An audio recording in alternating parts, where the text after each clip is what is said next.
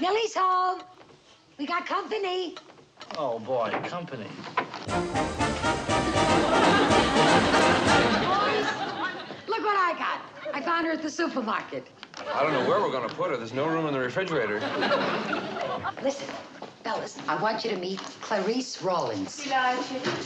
Davy, Clarice is English, and she's not married yet. Well, it's only two o'clock in the afternoon. She's still got time. Mr. Jones, I'm shaky all over meeting such a close friend of Rex Harrison's.